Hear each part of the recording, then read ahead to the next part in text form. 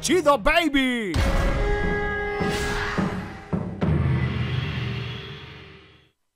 Hola a todos, acá en Masamune TV, bienvenidos a este nuevo video informativo de Monster Hunter Wilds. El día de hoy con las últimas noticias sobre este esperado título de Capcom.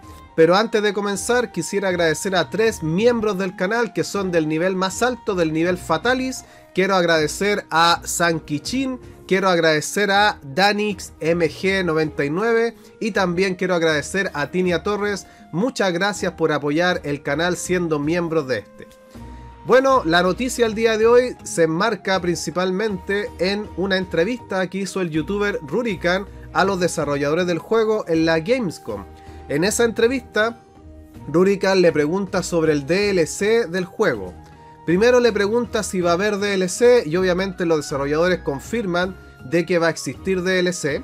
Pero también este youtuber les comenta si este DLC va a ser similar a lo que ya hemos visto en Sunbreak y lo que hemos visto en Iceborne anteriormente. Y ellos confirman de que el DLC que va a venir en Monster Hunter Wilds tiene esas características, ya que también en la pregunta que le hace Rurikan es si Monster Hunter, con la tendencia que hay actualmente en los videojuegos, va a cambiar su dinámica de, de DLC, por ejemplo, incorporando algún pase de batalla, incorporando la venta de armas exclusivas o armaduras exclusivas que tengan algún tipo de habilidad o que tengan alguna característica de pay to win o en su defecto pay to fast que también se le llama en el mundillo.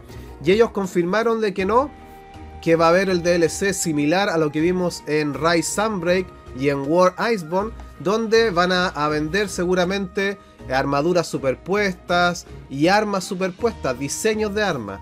Mucha gente se molestó en Monster Hunter Rise cuando sacaron estas armas como de peluche que imitaban a los monstruos. Yo me acuerdo que me compré el martillo, que era muy bonito, pero también había gran espada, había katana, habían todas las armas del juego tenían algún diseño de alguna bestia, pero en su formato peluche.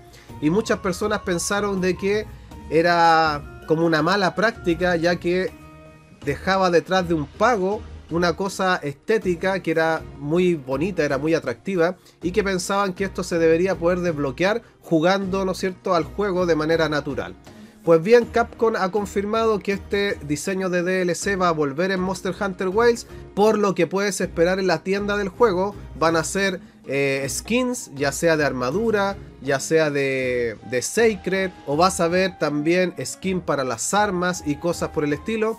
No sabemos si Monster Hunter Wilds va a tener un sistema como de casa, como tenía Monster Hunter War Iceborne, donde podías adornar tu casa con distinta música, distintos cuadros, peluches y cosas así. No lo sabemos, a lo mejor va a ser así porque es el DLC que le gusta a los productores del juego.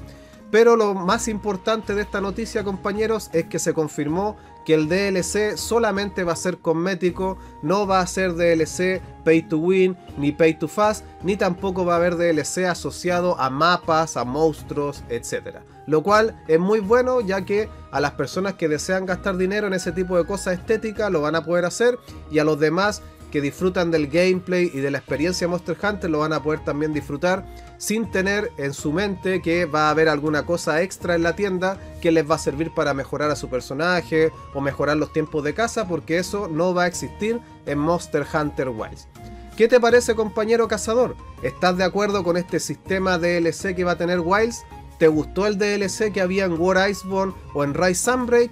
Déjamelo en los comentarios para que conozcamos tu opinión y otras personas a lo mejor también pueden dar la suya dándole like a tu comentario o haciendo algún tipo de alusión especial. Que estén muy bien, cuídense mucho y nos vemos pronto acá en Masamune TV. Bye bye, adiós adiós.